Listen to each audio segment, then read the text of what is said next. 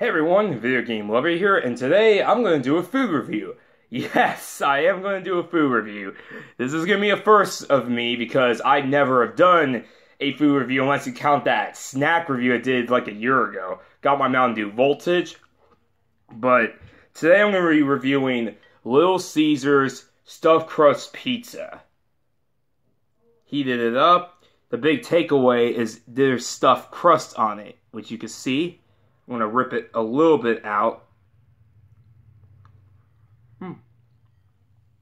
So this pizza Little Caesars made, this is similar to the deep, deep uh, dish stuffed crust pizza that they made a couple years ago. They charge like $8 for this. So this is $9, but it's definitely worth the deal. It's very tasty. I don't recommend having this too much because it is a little fattening, but it's really um, good. So I'm to take a bite.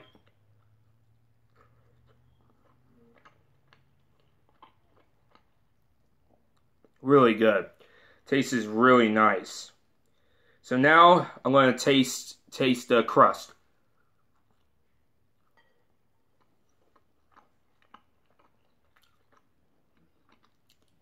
Tastes so good. Cheese stuffed crust pizza is out of this world.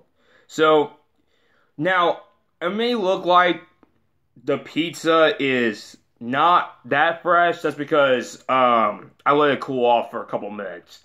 But when you get it hot and ready, it's really good. So, if I have to get, I would give this pizza probably a 9.5 out of 10. Maybe because of the price is a little steep, because I think the deep dish was like $8, and this is just pizza with stuffed crust. I think that's a little expensive, but still, it's a really good pizza. I highly recommend it. Um, if you have a nearby Little Caesars, check it out. You might like it. I do apologize, this was a little bit of a rough food review, but hey, it's, it's, my first review. What can you do? Anyway, guys, thank you for enjoying this little video. I'll see you guys later tonight for my Xbox collection video. Peace.